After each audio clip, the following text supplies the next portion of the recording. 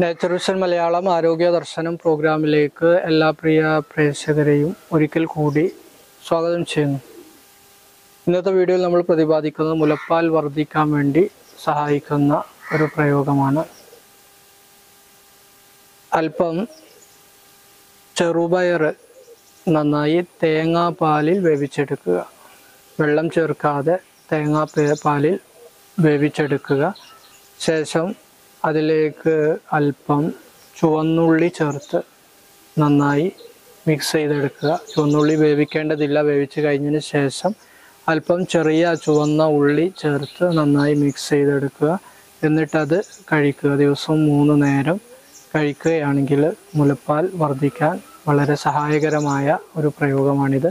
ഈ ഒരു പ്രയോഗം പ്രത്യേകം നോട്ട് ചെയ്യുക. ഇൻഷാല്ല മറ്റൊരു വീഡിയോയിൽ നമുക്ക് വീണ്ടും കാണാം. നിങ്ങൾക്കുണ്ടാകുന്ന ആരോഗ്യപരമായ സംശയങ്ങൾ ആവശ്യമായി വരുന്ന പ്രത്യേക കൺസൾട്ടേഷൻ ഇതിനെല്ലാം ഞങ്ങളുടെ വാട്സാപ്പ് നമ്പറിൽ ബന്ധപ്പെടാവുന്നതാണ്. Okay bye